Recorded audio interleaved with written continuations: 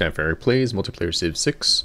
Another short game, because um, Dan has done his turns, but David hasn't. So it's just the two games I've been playing for a while now. Alright, let's continue working on encircling him, so that maybe he won't be able to heal up his um, city as I bomb them to oblivion. Alright. Uh, Alright, you go up here. Bomb Cincinnati. You go there.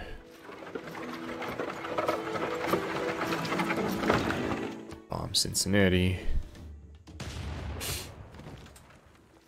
You bomb them.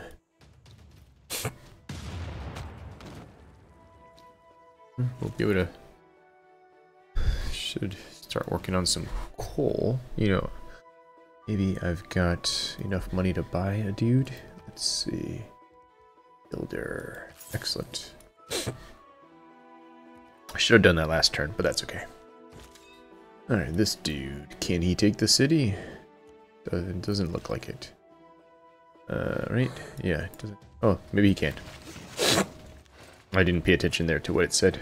I guess not. Not yet. Almost. He should be able to take it.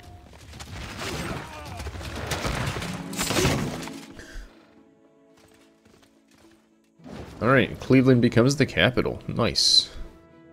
Alright, so this guy can move on towards Cleveland. This guy can stay there for now. Go ahead and keep the city.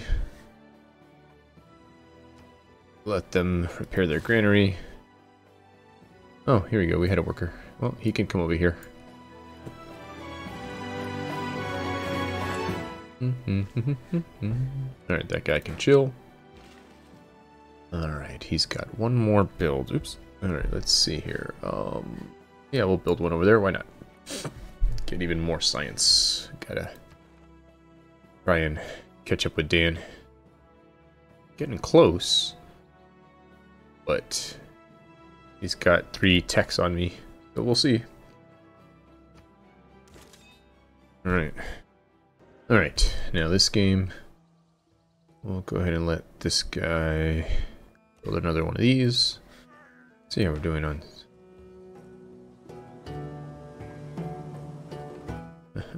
oh, Dan's kicking my butt in this one, science-wise. Alright, um...